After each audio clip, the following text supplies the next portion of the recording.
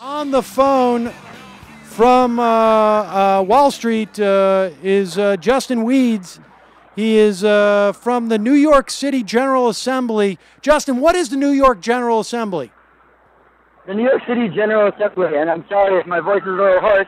It's been quite a day. I can Um, imagine. is a yes. The New York City General Assembly is a group of people, a growing group of uh, people who are committed to a consensus-driven process of finding solutions, of making decisions, and taking action around issues that are critical to to our social justice and to our well-being in New York City. and uh, are you guys? What's happening down there now? Where are you located, and um, and, and what's happening? Are people? Uh, uh, uh, are, are you guys uh, staying there overnight? Have you been there overnight? How long have you been there? That's right. This is our third day of the occupation. Uh, we are located in Zuccotti Park, uh, which we are going to re-rename Liberty Plaza, its original name. Um, and we have encamped now for two nights. We're on to our third day in this park, and we have no intention of leaving. And our intentions are to meet peacefully, to assemble, to, to exercise our First Amendment free speech rights and our right to peacefully assemble in order to address these issues and tackle these conversations, the difficult conversations that we need to take and to have in order to begin to make some real actionable decisions and begin to state some really clear demands about what we need to see change in our culture.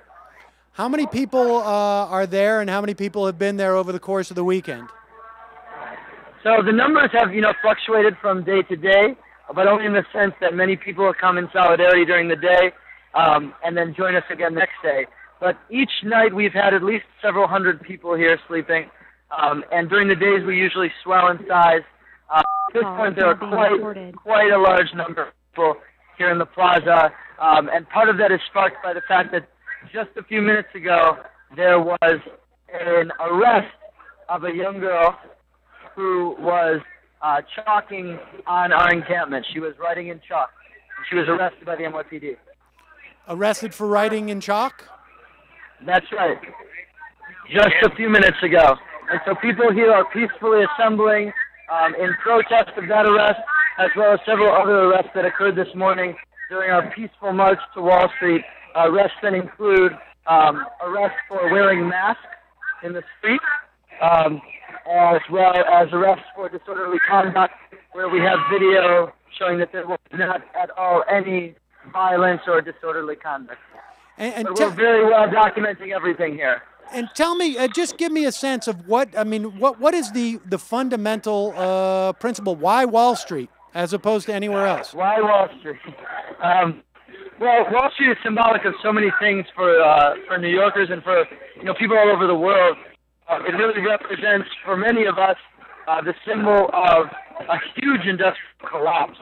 Uh, the, the collapse of an entire you know financial sector that nearly brought on you know economic collapse.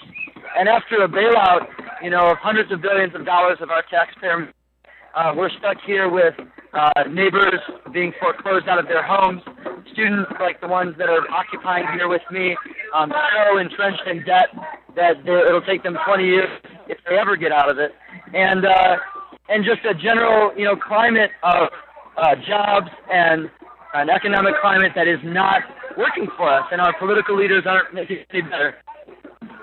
And, uh, and and let me ask you: um, Is it there? There have been reports that there uh, that the uh, police are making arrests of anyone wearing uh, masks outside the park. Uh, can you confirm uh, that?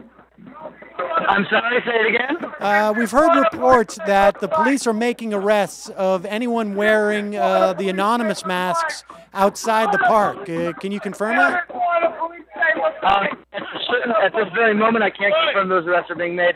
I have um, heard reports and believe they've been confirmed that at least one or two arrests were made this morning for people wearing masks in public because apparently uh, there is a New York City law that states that no more than one person can wear a mask in public.